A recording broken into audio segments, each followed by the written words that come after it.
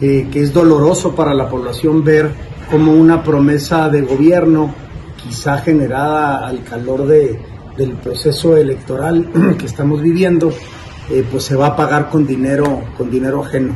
Los fondos que hoy por hoy o después de la aprobación de esta ley, o una vez que esta ley cobre vida, eh, no van a salir de, de fondos públicos, simplemente se va a extender la mano y se va a tomar el dinero de aquellos ahorradores que caigan en los supuestos que prevé esta ley, que entiendo que son aquellos que tienen más de 70 años y que por alguna razón han decidido no, no mover o no disponer de su, de su fondo de ahorro, pues simplemente el gobierno lo estará tomando para cumplir una promesa.